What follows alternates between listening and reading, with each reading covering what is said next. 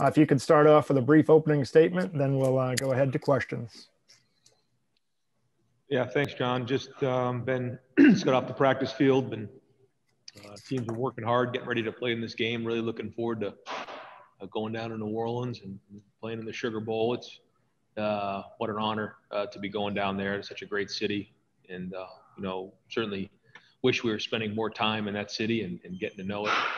Uh, been down there a couple times. Went down there for a Super Bowl and uh, just unbelievable culture and, and great people. Um, so it'll be a different experience, but uh, we're still excited nonetheless, and excited to play against a great opponent. You know, rematch from last year.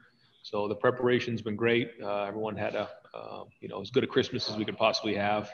Not able to really be around our families, but um, but the guys have, you know, overcome a lot this year, and uh, now we have to finish the race. We got to finish it, it strong, and looking forward to continue the preparation as we head to Friday night.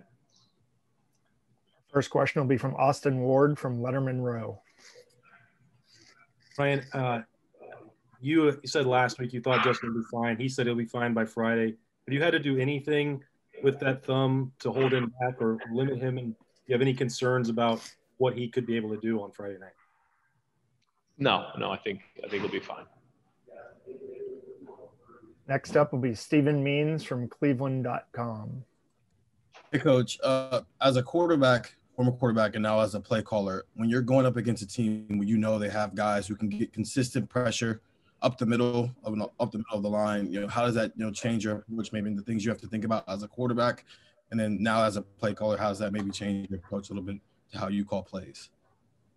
Well, I mean, this defense is, is second in the in the nation in sacks. They they create a lot of disruption, like you said. Uh, really good players and really good schemes. So, um, you know, they've they've done it against just about everybody they've gone against. So we got to understand that. We got to understand the patterns. We we got to do a great job in firming up protection. Quarterbacks got to understand that. And, um, and you know, it just comes down to preparation, understanding the different patterns that you're going to see, knowing that you're going to see some things that um, maybe you haven't seen before and that's part of it. Um, but and, and, they know us very well. Um, you know they um, you know always have really good schemes. So we'll have to uh, continue to do a great job preparing so that you know when we get out there on Friday night, you know we're we're anticipating as opposed to reacting. Next, we'll go to Tim May. Yeah, you know, it's, fr- it's funny, Ryan. I think I asked you the same question last year, but I want to ask it again. Uh, when you're going against a defensive a defense uh, led by a coordinator like Brent Venables, who has this huge reputation, et cetera, justly deserved. Uh, does it pique you and your staff even more to to sort of figure it out and uh, go to battle against something like that? Yeah, I mean he's he's one of the best defensive coordinators in uh, in college football, and um, you know he does a great job calling the game. Um, you know, seems to always know exactly what the other team is doing in terms of uh, the plays that they're running each play, and um, you know seems to you know call the right defense in, into that play a lot. And uh, you know why that is, you know I don't really know, but I I can tell you that uh, he's been doing it for a long time, and it's a good challenge. Thanks, man. Yep. We'll go to Ralph Russo from the Associated Press. Hey Ryan, um, wondering you know you've talked a little bit about this. Um, about how the players have had to sacrifice so much, sacrifices really from everyone. Um, have you sensed stress from from them throughout this, and, and how do you deal with that as a coaching staff? Like a different kind of stress that you would normally you know deal with in a normal in a normal year. Yeah, yeah, there, there's definitely different stressors that are going on for sure, and and they're they're coming from different areas. The stress of um, living a different life than you lived last year and all the different things that come with it. Not being around your family not being able to socialize not having fans not receiving the rewards of hard work um, you know games being canceled and handling disappointment. I think all that stuff adds up. Um, i think the fact that you know they really had to stay in isolation for the most part. And um, and then i think there's also the stress of the body you know and the emotional toll this season's taken. I think that for some guys who have done everything right um, and practice throughout this whole time, while others have, um, you know, missed practice, you know, and, and the amount of uh, people that have missed practice in the last month alone here is staggering. And so those who have practiced every day, that stress uh, load adds up on them as well. So I think, like you said, all those things add up to where they're at right now. Now, uh, some way it calluses you and makes you stronger, and that's a good thing too.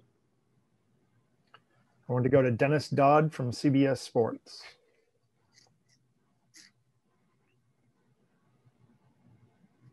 Dennis, unmute, please. Sorry about that. Uh, Ryan, I wonder if you could reflect on the circumstances of how you got to Ohio State. It was, you know, it was after that 31 to nothing loss to Clemson where Urban kind of retooled the staff. If that doesn't happen, are you there? And because obviously you've flourished since you got to Ohio State. Yeah, I was uh, I was with the 49ers at the time and had a few conversations with with coach and um, you know jumped at the opportunity to come to Ohio State not knowing exactly what was in store. Certainly didn't in my wildest dreams think I'd be sitting where I am right now. Um, but I guess that's college football, and uh, it's it's been a blessing and learned so much about what Ohio State is, what the Buckeyes mean to so many people throughout the country, what winning at a high level means, um, and just blessed to be around such great people as Gene Smith and all the people here who strive for excellence. And it's it's been great. You know, our family loves it here, and uh, you're right. I mean, sometimes I wake up and you know you just have to pinch yourself a little bit because it wasn't that long ago that uh, you know we would never thought of being in a situation like this. But but a lot of that has to do with the people that are around you. You know, we have great assistant coaches and great players and great administrators here, and that's um, that's what makes this place great. Next will be Joey Kaufman from the Columbus Dispatch. Ryan, um, in a normal bowl bowl season, you guys would typically be there a few days in advance of the, of the game, and you'd have all these festivities, and the team would partake in some of that stuff. This year is obviously different. Have you tried to recreate some of that going into this game, or is it just entirely different and just a game? What is that like? Yeah, it's it's it's been very different for a lot of reasons. One, there hasn't been that much of a lead up time. Usually, you have at least three weeks, you know. Um, at least two weeks. You know, this this is close. This was quick. I mean, this was I guess 12 or 13 days. Plus, you had Christmas in, in between, so there hasn't been a lot of uh, you know downtime that way.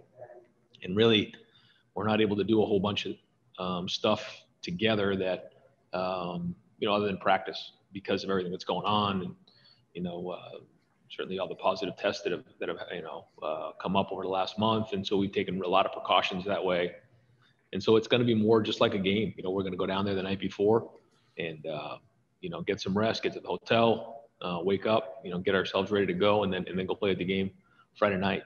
So yeah, it's one of those, you know, things that we're just going to have to sacrifice this year is, is the bowl experience. And when you think about it, uh, it's, it's kind of a downer because you'd love to spend a week in New Orleans and uh, all those things that come with a bowl game. And that's part of the reward that I was talking about that these guys, um, you know, it's been taken from them this year whether it's fans in the stands, whether it's the recognition, or whether it's the number of games you play and in, in, a bowl experience, you know, those things do add up. Uh, you could say they don't, but they do. And uh, doesn't mean you need to sit around and cry about it, but um, it's something you need to be aware of. And uh, and so yeah, we'll, we'll once we get down there, we'll try to do everything we can. Uh, but in the meantime, it's it's you know getting getting ready to play the game, and it's all preparation here. Next will be Nathan Baird from cleveland.com.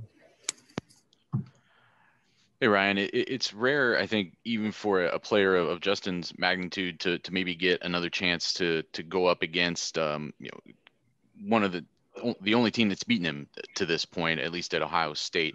I guess just how do you see this game playing into the the legacy he could leave here, um, and and just the opportunity that's ahead of him as a, a competitor? Well, I think he he left that field wanting another shot. Now he has another shot, and he's not the only guy that's that felt that way. There's a lot of guys on our team who felt that way, and you would have never thought that you're going to make it all the way back here to go play in this game, and the journey was so uh, strange to get here, but here we are, and now we have an opportunity to go go play him again, and this is the reason why. Uh, everybody worked so hard during that off season was to get to this opportunity. So now we've got to go make the best of it. Um, do I know what it means? I don't know. I mean, it's an opportunity to go play Clemson, and if we win, we go play for the national championship uh, with, everything that's gone on this season, and that's what that's what matters. And you know, has it been normal? No, Um, but here we are. We asked for this opportunity, and now we got to go. Next will be Andrea Adelson from the ACC Network. You mentioned practice a little bit ago. I'm just wondering if uh, Chris Olave and some of the other players who were out against Northwestern have returned uh, to practice, and how much of the if you've got the whole team together practicing, how much that will help now as you prepare for Clemson? One of the challenges for the last month has just been, like you said, the the amount of guys that have been in and out uh, for whatever reason. You know, whether it's been for the virus or um, you know guys just you know being out because of injuries. Um, you know the numbers are are off the charts. So that that has been a major challenge, is trying to prepare for games, but having guys come in and out of stuff. Um, we have got a bunch of guys back. Guys are starting to practice now, and, and um, you know, it'd be good to get some of these guys back to, to play on Friday night. Um, but it's it's not like you just throw them back in there and they're just going 100 miles an hour again. You know, there's a, there's a ramp up to it. You know, they haven't really they didn't do anything for 10 days, and they had to pass their cardiac test, and then you have to kind of ease them into it, uh, especially the skill guys because of soft tissue injuries. And um, I think we're doing as good a job as anybody of uh, having a really good protocol on how to get them back safely to play. Uh, but it, but it certainly has been a major challenge. You know, guys in, guys out, and like I mentioned before, that puts a lot of stress on the guys who are who are in there who are taking the reps in practice because you have to practice to get better, and uh, and we haven't had the the luxury of playing in you know 13 games leading up to this. So we have to continue to practice. So that's that's been one of the challenges this year, and uh, it's something that our guys have embraced. It hasn't been easy, but but they've overcome it, and um, and here we go. Next up will be Bill Landis from The Athletic. Hey, Ryan, uh, you, have talked a lot since you've been here about your offense and, and staying aggressive. Um, I'm just wondering if does aggressive always have to mean throwing the ball? Can a team be aggressive running the ball? And, or, or, just like what's your idea, I guess, when you think of that? And, and why is that the preferred uh, disposition, I guess, for lack of a better word, for your offense? No, I don't think it's preferred. I mean, I think the idea is to score. Um, it's like in the big, you know, the Big Ten championship game, we ran for I think 330 yards in a game, uh, or I forget exactly what the number was. So I mean, we're, um, you always going to strike a balance. We always want to do that, and I think when you look at the numbers, I think they would probably. Uh, they would probably show that that's that's what we have. We have a pretty good balance. I don't know what our, our passing and, and running numbers are right now, but we always have to put pressure on the defense, and uh, throwing the ball is a huge part of that and that also opens up the run game. Um, and I think that's part of how you attack teams. And if you're not executing at a high enough level, then you need to get that fixed. But whenever you start, uh, you know, not calling it aggressively, that's when, you know, bad things happen. You know, you lose confidence, and, and that's not the way we're wired. I mean, we're going to go out there and try to score as fast as we can, and uh, try to score as many points as we possibly can. But at the same time, keeping that balance and controlling the ball. Um, so whatever that is, and then we'll look at the, the, the, you know schematically what gives us our best chance. You know, in certain teams they they load the box and you have to throw the ball. Um, you know, we didn't throw the ball as efficiently in the in the last game as we would like to have. Uh, missed a few opportunities. Could have been a bigger number, but it wasn't. So that's what you got to learn. You got to get better at it. Um, and so we're always looking for that balance. And and being aggressive is is both. You know, it's sometimes playing with tempo. It's sometimes taking shots. And um, but at the end of the day, if you're forcing the team to, you know, to defend the entire sideline and run and pass and the quarterback run, I think that's when you put the most stress on the defense. And if I can follow up on that just just quickly, last year in this game, you guys kicked two field goals from the five yard line, and that would seem to run a little counter almost everything you just said. And, and I'm just wondering how those two field goals have sat with you over the last year as you've sort of framed your your mindset for this offense this year. Yeah, I mean, you don't want to, you know, go back and uh, replay the game last year, but one of the one of the issues was field goals in the red zone and not scoring touchdowns down there. We had one called back, we had a drop, we just it, it didn't didn't happen. So, you know, we got to make sure that you know we're scoring touchdowns when we get down in there. Um, you know, but in, in, games like this, we also got to be smart. And um, you know, if our defense is playing well and you know, kicking field goal is something you got to do at that time. You got to do that. I mean, you can't just be reckless either. Um, you know, we also went forward on fourth and one and threw a touchdown. um, I think it was in the fourth quarter. Um, you know, we're, we're always going to be aggressive, but at the same time, you can't be reckless. Thanks. Yep. Next is Rob Oller from Columbus Dispatch. Hey, Ryan, how important is this game as a program marker? You guys are right there. You're up 16 and 0. You, it slipped away, but you have got Alabama and Clemson. How important is it that it is Clemson and that you have a shot to make a statement? I don't know. I don't know. I don't know how to answer that, Rob. You know, I would say, you know, in a normal year, I'd probably have a better feel. I don't, I don't know. You know, I, I think this is more about these, these, this team and these guys on this team and the leaders and what they've done and their story, the story that, that these guys have and their journey to get to right here and what, and what the, the final chapter or two is going to be. That, that's more to me what this is about. This is about a bunch of guys who have just been through so much and had the season canceled and restarted and then games canceled. And here they are right back to where they started when, you know, a year ago to play Clemson again. It's just an amazing story. And I think it's more about them than it is like a statement about, you know, where we are. Um, you know, we'll see if we can all come up for air and, and maybe reflect on that in the off season. But this is more about our culture and our team. And uh, I really would love for these guys to have something at the end of the end of the season, a big ring to show for everything they've done because they've sacrificed so much. And I think it's that's that's really the story to me. We'll now go to David Hale from ESPN. Hey Ryan, given all you just mentioned, this might be a difficult question to answer. Um, I know Dabo has been fairly outspoken about the idea that playing uh, 11 games as they have is different than playing the six that you have. Uh, and when you compare this year to past seasons, do you feel like your team is in a different place, having only six games under their belt at this point in the year, um, physically, emotionally, mentally, or, or has the toll of all of the other stuff been so great as to sort of ameliorate any level of, of differentiation there? yeah, I mean, everything about the season's different, you know, from the amount of games we played to, um, to all the above. Yeah, I don't, I don't even know where to start. I mean, we could talk about it for an hour, but yeah, everything about it's been different. And uh, to sit here and, and tell you exactly, um, you know, where we are compared to years past, um, no, I mean, it's, it's totally different. Everything about it's different. The way we practice, the way we eat, the way we meet, the way we travel, the way everything preseason camp to all of the above. So this is this is a different season in all uh, areas. Next, we'll go to Jeremy Birmingham from Letterman Row. Hey Ryan, two-parter here. Um, first of all, with with everything that Justin went through in the last year, the, the way last season ended, to the Indiana second half to Northwestern, how do you stop him from trying to do too much against Clemson when obviously there's so much riding on his shoulders? And then secondarily, how much did Justin change you as a coach in the time that he's been at Ohio State?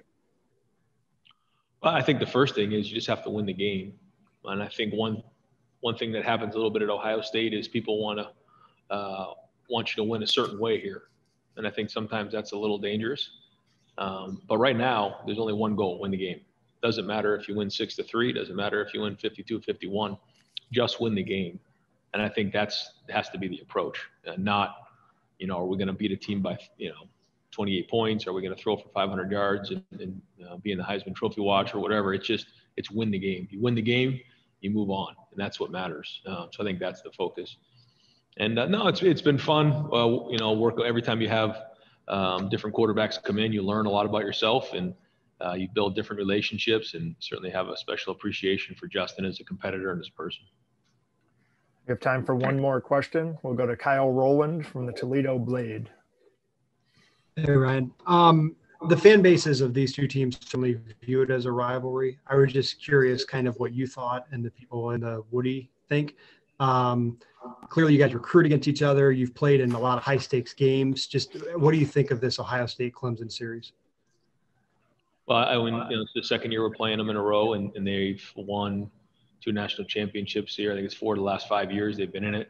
Um, I think they've won six ACC championships, if I'm correct. I mean, they've they've um, you know been right at the top of the game for uh, almost a decade now. So they're um, they're up there. And then you know when you look at where Ohio State's been in, in the Big Ten and um, you know playing in the CFP and, and um, you know our games against Clemson um, you know, if we continue to win, you know, we're, we're probably going to run into Clemson or Bama along the way.